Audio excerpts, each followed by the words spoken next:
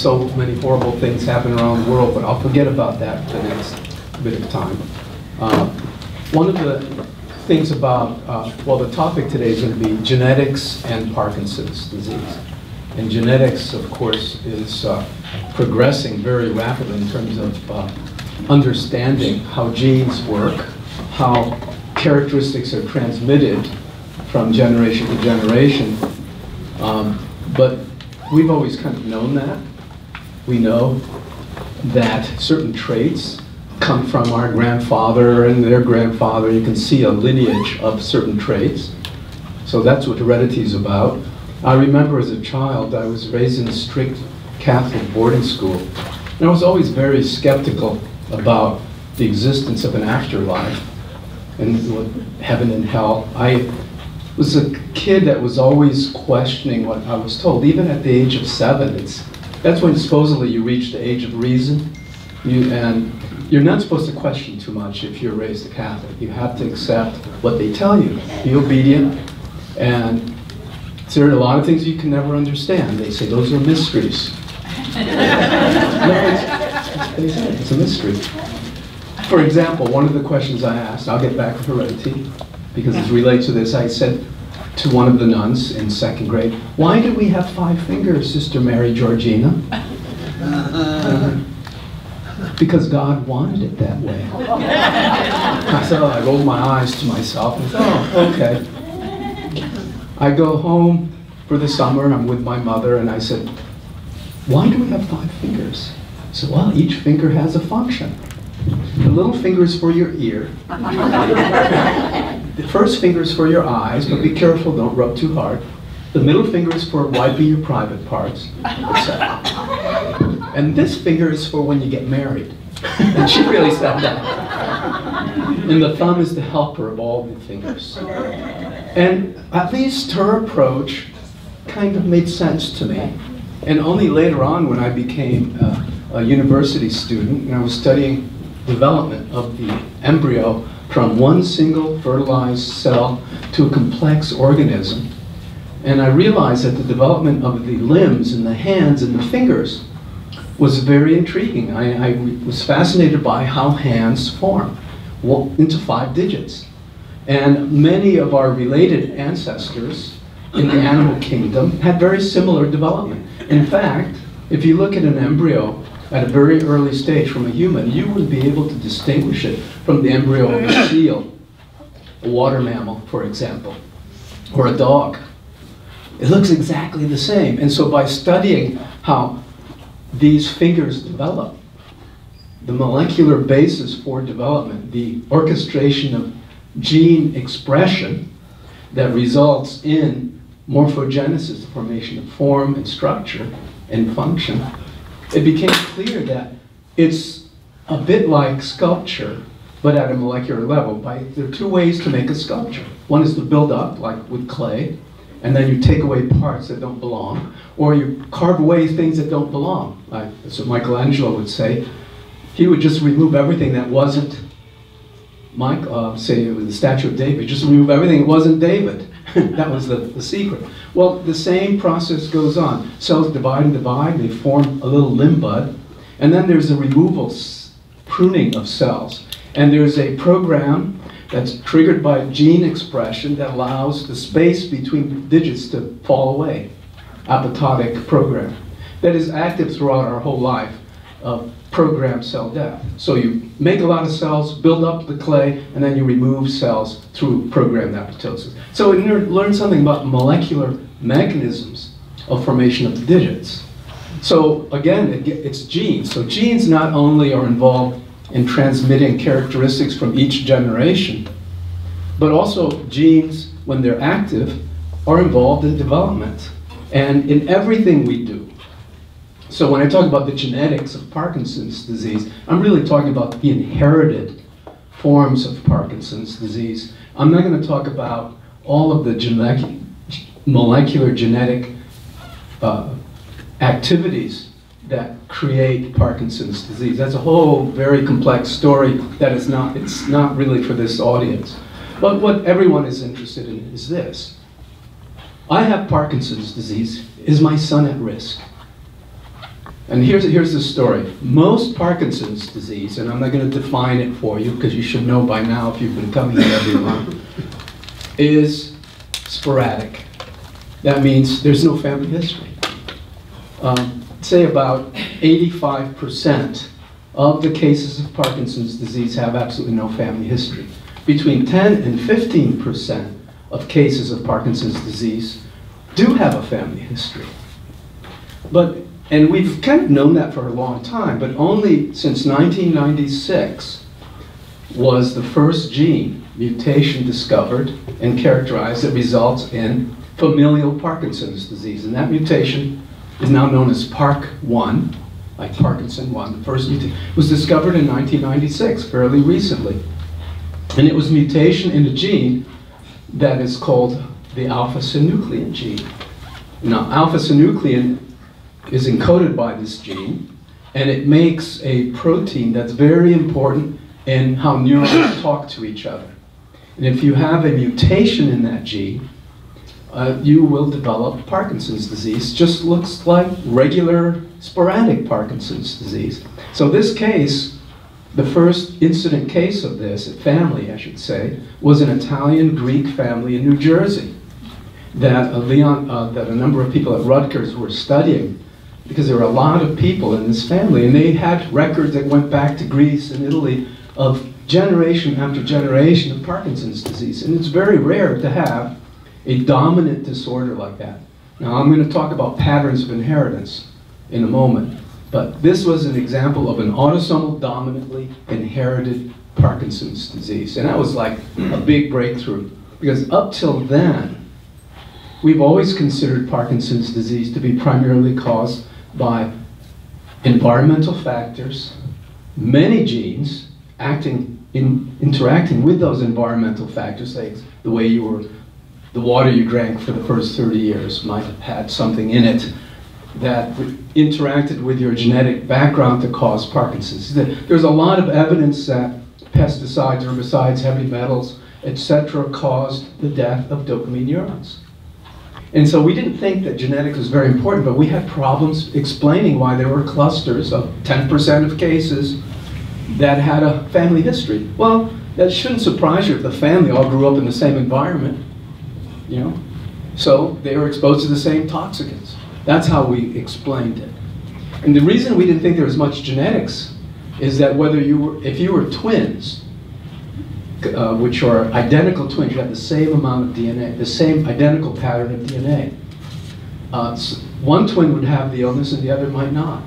So that kind of made it seem it wasn't genetic until this great discovery of the alpha-synuclein mutation, or PARK1. So the interesting thing is the, that immediately every person who had sporadic PD in academic centers underwent this genetic test to see, well, maybe it's present in all our Parkinson's patients, but it's not expressing itself. Well, the mutation was not found. It's a very, very rare mutation. We rarely see it. There was recently another called PARK4 that is like similar to PARK1, and but it's it's and, and it's again a very rare, but it's autosomal dominant. About two years later, another pattern of inheritance, another gene was discovered. They call it PARK2, or the Parkin mutation. And this was found, and this is much more common in uh, Asia, um, Japan and, and, and uh, China, Korea. The, of, uh, a pattern of Parkinson's disease begins young, less than 40. They have the same characteristics as adult, you know, older onset Parkinson's disease. They begin with tremor, rigidity. Most often they begin with dystonia, with the posturing, the turning into the foot or the toes going up at a young age. And they're very sensitive to levodopa. They get remarkably better. But the pattern of inheritance in, in that form of the disease was a uh, autosomal recessive. That means that you needed a copy of the mutation from each of the parents. So you needed a father who carried the one of the chromosomes with the Parkin mutation and a mother with the same mutation. And about 25% chance that a child would have both of those mutations. Whereas in an autosomal dominant, it's only, all you need is one of the genes to be mutated. So a child of a parent with the disease has a 50% chance.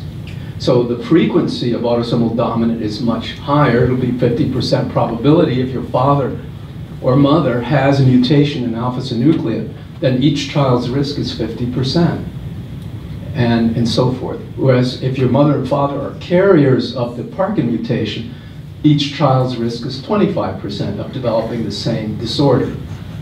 Uh, and again, in that situation, in both kinds of Parkin mutations, um, Parkinson's disease mutations, the phenotype, that is what we see, the clinical presentations are very, very similar, with one exception with Parkinson.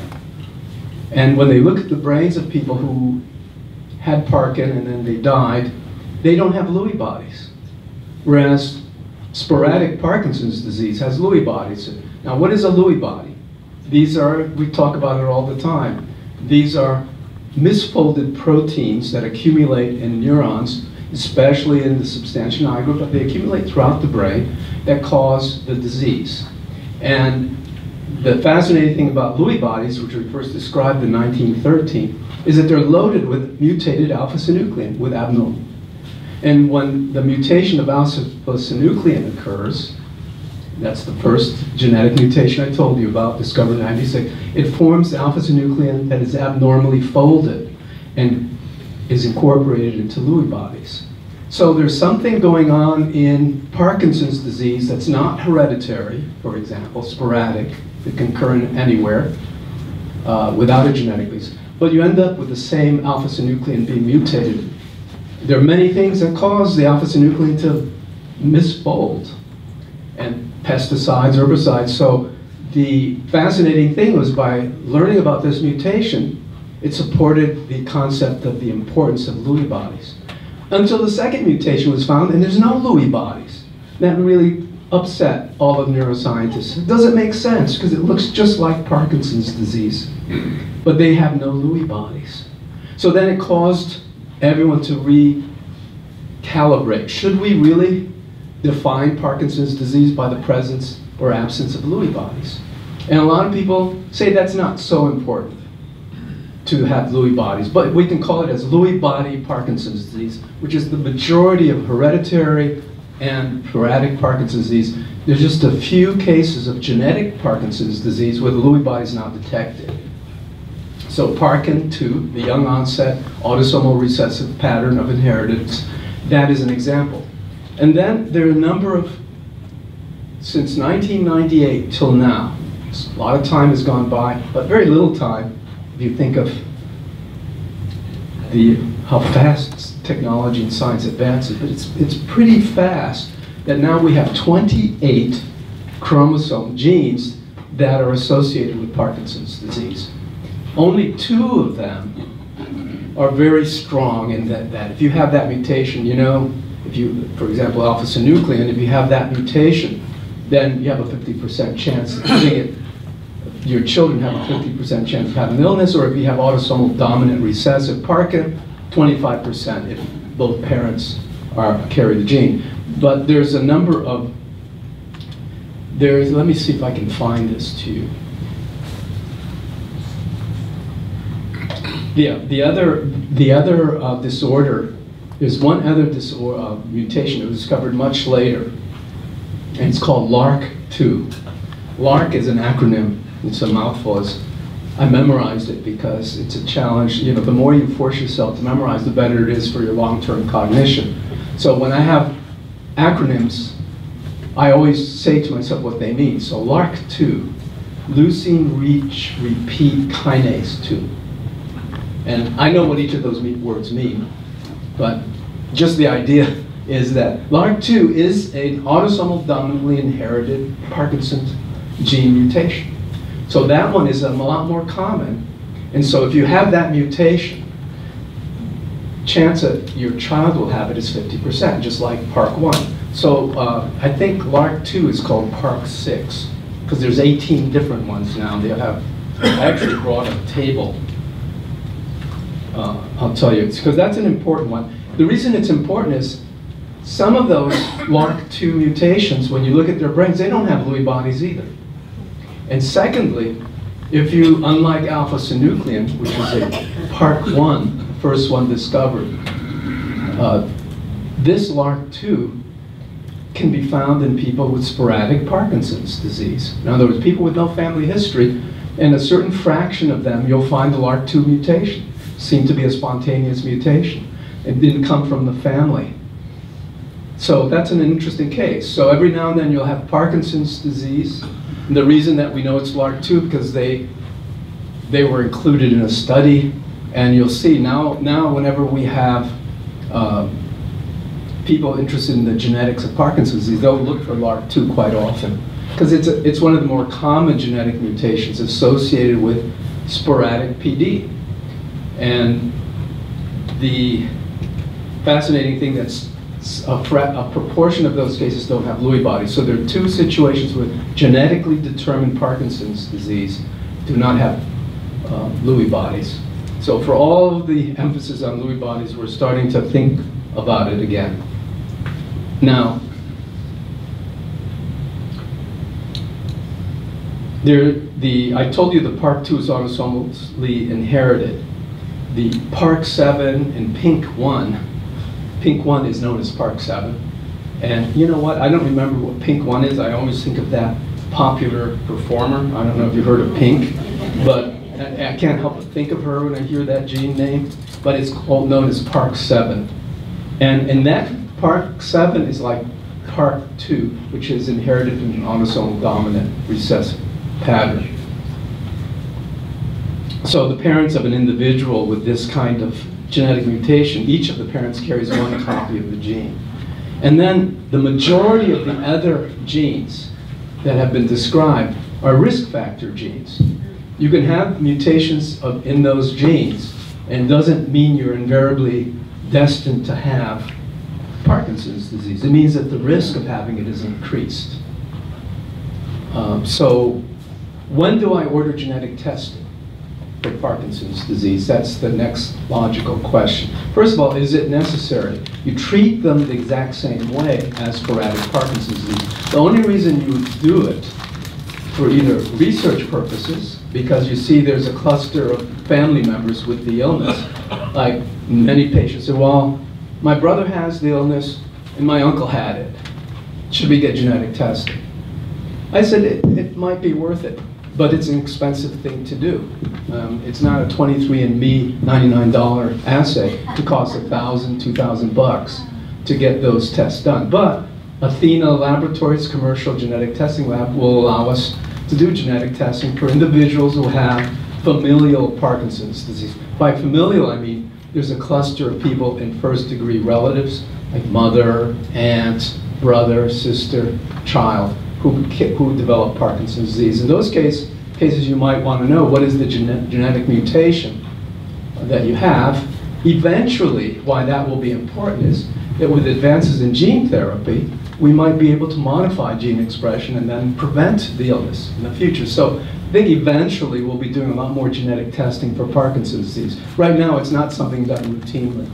It's something done at the discretion of the physician, depends on their academic background and interest, and, and for the patients. Now, some patients will be referred to centers like at Mayo Clinic in Jacksonville. They're very heavily into the molecular genetics of, of neurodegenerative diseases. So I would, if you want to learn a lot more about the genetics of Parkinson's disease in your own family, I might refer you to, to those uh, investigators. Um, let's see what else I can think about. Oh yeah, what's, what's fascinating to me is when I started in this field, I got into Parkinson's disease research because we were convinced it was completely caused by environmental toxicants. So I had trained as a pharmacologist, toxicologist, and did my PhD on, on in, in this field of neuropharmacology. And then when I was a neurology resident many years later, there was a report in, this is 1983, I was a neurology resident, a report of young people developing Parkinson's disease on the West Coast. And they were all less than 30, and they all were IV drug abusers. And they were using the same source to, of drug that was known in the, in the underground, the black market, as China White. It was a new imported form of, uh, quote, heroin. And what it was really was locally synthesized designer drug to act like Demerol or meperidine. And it's a very simple procedure. Now it's very difficult because the, the uh, source material is highly controlled. But in those days, it was very easy for an underground chemist to make a batch of China White. And they, if you overcook it, overheat it, in the process of synthesizing it, you made something that contained a material called MPTP, methyl phenyl tetrahydropyridine. It's structurally similar to meperidine to some degree, to Demerol, but when it's metabolized by MAO, which is monoamine oxidase, into MPP, it looks like dopamine and is taken up by dopamine neurons where it accumulates and it kills them by poisoning the dopamine neuron mitochondria. So this was happening in 1983. Not the whole story, but the discovery of IV drug abusers who developed Parkinson's disease. So I, uh, some of the early research I did right out of residency when I was learning about Parkinson's disease at the University of Miami doing a movement disorder fellowship, I began to look at all kinds of environmental toxicants, environmental chemicals found in the environment, in water, in the soil, in, in certain plants, that look structurally, chemically like MPTP. And one of the first we looked at was paraquat. Many of you have heard of paraquat. Paraquat looks just like MPP, but a double-headed MPP. And MPP, remember, is the active toxicant that kills dopamine neurons. Paraquat was used, uh, it's used as an herbicide. And it was used by the federal government to spray the national forests in California and, and other parts of the West where hippies were growing large amounts of cannabis or marijuana. So that was a way to control the marijuana market way back in the 70s. So paraquat, very toxic, and it, the reason it doesn't cause Parkinson's disease like MPTP does is it doesn't cross the blood-brain barrier very well. But in certain conditions it would. So what I'm afraid of is many of these young hippies that are now approaching retirement age have used cannabis for years that has been contaminated with MPTP and now they have the effects of this paraquat. Um, so I'm just trying to tell you why so many people focused on environmental toxicants because we didn't think there was much genetics involved other than modifying how you react to these toxicants, how you metabolize the toxin. The next set of toxicants we found were, were pesticides, not herbicides. And one of the ones that, that I found in postmortem brain tissue of Parkinson's disease from the National Parkinson Foundation Brain Bank was dieldrin. Dieldrin was banned in 1970. Dieldrin was used for termites and various uh, insects, pests, but it was found to be associated with like DDT, which was also banned. It's very similar to that. It's called an organochlorine pesticide. DDT is the most commonly used. And DDT and dieldrin were banned in the US because it was affecting the eggs of the eagle and of the osprey. They're very fragile. And might be associated, and was associated with increased risk of liver cancer. So that's why DDT, even though you probably, you're of the right generation, where they'd spray DDT, especially if you're in the mosquito areas. You run behind the trucks as they were spraying. Uh, you know, I remember even as a kid seeing those trucks go by in, in Miami. So, so people were exposed to DDT. Now here's what I found in the brain. Every brain I looked at, there were age-matched controls, people who didn't, didn't have Parkinson's disease. I took a positive control being people with Alzheimer's disease, the same age and sex, and Parkinson's disease. And what happened is the DDT is found in everyone. Everyone accumulates it because it's so lipophilic, it stays in your fat tissue for life practically. But it didn't seem to be associated with either disease, either Alzheimer's or Parkinson's. It was equally present. in normal brain, Parkinson brain. The one that was really high only in the Parkinson brain was dieldrin.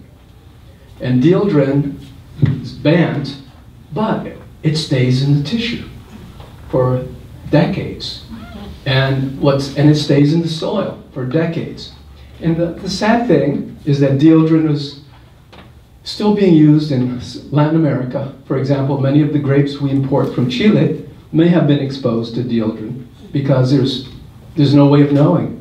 But we know that it's not banned in those countries. So I always say be careful when you eat grapes imported from Latin America, even though it hurts, I'm Latin American.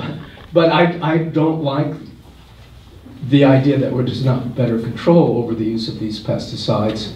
And, and what's happening in this country is going to be the same because of our current administration that is dismantling the EPA. And no regulation, let people make as much money as possible. You get a better crop if you spray with pesticides. Don't worry about the human issue. Don't worry about that. We've got to increase profit. This is what America's about. Profit. Stockholders got to be happy. So anyway, so dieldrin led to uh, research in my lab where we found that it was toxic to dopamine neurons in cell culture. But when we gave it to mice, it didn't really destroy dopamine neurons. And but the Department of Defense was really interested in environmental chemicals that might cause not only Parkinson's disease, but also ALS. And there was a, because of the first Desert Storm, there's a number of grants that were given, and they underwrote research that I did. And we looked at 30 different environmental chemicals. We found the number that were associated with Parkinson's disease. So this is all before 1996. And since 1996, when we now know that genetic factors are important, the trend is to look at how certain genetics uh, increased vulnerability to some of these toxicants. Why that is important is based on one of the studies we did. There's a town in Mississippi, Clarksville, Mississippi, where cotton is king, where there are a lot of cotton growers. And I had written an article about pesticides and Parkinson's disease. And I said, all I need is a cluster of people who are exposed to dieldrin and other pesticides that have a higher incidence of Parkinson's disease in their community, an epidemiological thing. And I got a call from a physician, small family doctor physician in Clarksville. He said, a lot of people in this town have Parkinson's disease, and they're all related to the cotton industry. Um, they're either the landowners or they spray the crops, etc. And you know now cotton harvesting is is done with machinery and so forth, but the spraying, constantly of these pesticides results in everyone being exposed. So he sent me blood samples from people who were actively involved in spraying, people who just never even went into the fields, had just lived in the town.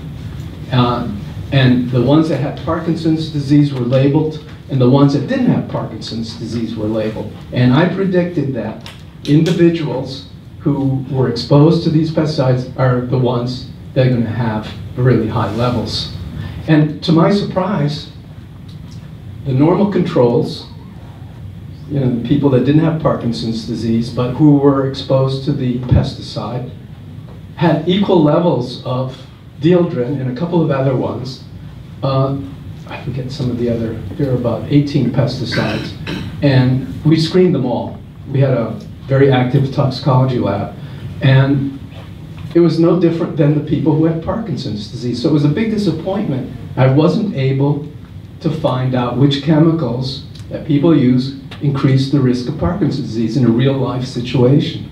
And then it turned out that more and more was being learned about mutations in how the liver breaks down chemicals. You know, we have two major systems that protect us from environmental invaders we have an immune system that recognizes large proteins and viruses and bacteria and recognizes them, and if you're exposed to them again, uh, go after them and get rid of them through lymphocytes, macrophages, etc. That's the immune system. However, we have a chemical system in the liver, very complex, called the cytochrome P450 system. There are hundreds of genes that mutate constantly that will recognize, that are involved in the metabolism of small molecules. That means that weigh less than 300, 400. Whereas proteins weigh in the thousands, ten thousands, and viruses, that you need the immune system for. But the liver metabolic system recognizes chemicals. It's involved in breaking down toxicants and materials that we take in normally. That's where all drug metabolism is being taken, is takes place, where alcohol is metabolized, where everything is metabolized to, make, to be made into a water-soluble form that can be eliminated in the urine. That's what liver does. You know, you think of it, detoxification, and there's a whole series of, of enzymes that do this. But those enzymes, the genes that encode those enzymes can mutate. So there's a genetic basis for how we deal with environmental chemicals. So this is the kind of genetics of Parkinson's disease that you usually don't hear that much about. It's because it's more influenced by environmental toxicants rather than pure genetics, pure heredity. Uh, and so in order to develop Parkinson's disease, I think you need a combination of certain predisposition, often having to do with how you metabolize chemicals, and exposure. And in some cases, doesn't matter what the exposure is, the genetic mutation will just cause the demise of dopamine neurons. Those are the, the things I spoke about in the beginning. There are 28 of those that can result in increased risk, and about six of them that were, it'll be definitely in each generation. Um, I, have a few more comments about that. Uh, what's fascinating too is how did this liver enzyme system called cytochrome P450 system that's involved in metabolizing drugs, chemicals from the environment, certain molecules that we ingest from plants. Now, plants are the biggest source of pesticides. In natural pesticides, you know, every plant has a defense system. Some of it is very fragrant, some of it is to attract insects, some to repel. And when we eat plants, we're taking in a certain number of toxic materials. But if you recognize how we've evolved, now, I don't want to insult people, but we've evolved over millions of years with the plants. And we've been ingesting plants over millions of years. And so we've co-adapted to the toxicants that plants produce. Even still, there's a number of plants that we never adapted to that will kill you. The belladonna alkaloids is a good example. Curare uh, is another example. There's a lot of plants that have high levels of cyanide will kill you. We've never adapted to those. But the majority of toxic materials in plants we've adapted to. And how do you adapt to something? It's not just by living next to it. It's that all the time you have mutations in that system. So individuals who had mutations that were favorable in terms of being able to metabolize the plant material that you ingested would result in more children in that family because they didn't die young, young from that plant toxicant. So that's how evolution works. There's always some mutations, and then environmental exposures, and then there's a pruning away of individuals that didn't have the mutation. So you end up with the most adaptive uh, set of genes possible for the current environment. So something that seemed real simple, the hereditary basis of Parkinson's disease, is actually extremely complex. And the way I like to end it, and I'll end it this way, is how does something like intelligence inherited, how does that develop? And why are some people so good at math and can do all of these really elaborate cognitive activities that make them seem super smart and others not? Well, a lot of it has to do with the genetics. There's some genetic mutations that allow you to be better at interpreting rhythmic sounds and tones, so you may have perfect pitch, so you're, you're more likely to be an excellent musician. And some mutations might make you more capable of dealing with abstract concepts and mathematical concepts.